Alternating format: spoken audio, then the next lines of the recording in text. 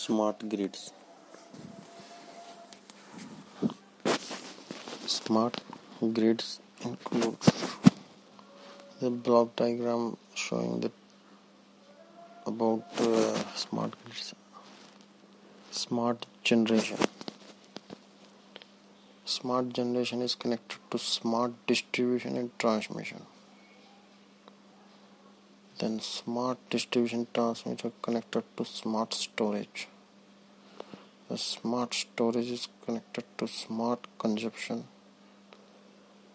And smart consumption is connected to smart generation.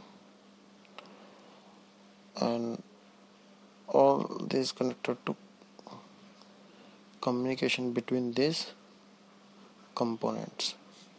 Means one communication system is there in between these all. Then this smart meters. Smart meters uh, in functions are there. First communication interface means communication will be possible with these meters remotely remote load control. Load will be controlled by remotely. Export metering.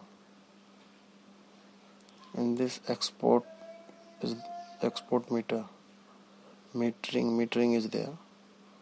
Remote connect and disconnect electric supply. Outage detection. Smart meter is online or not?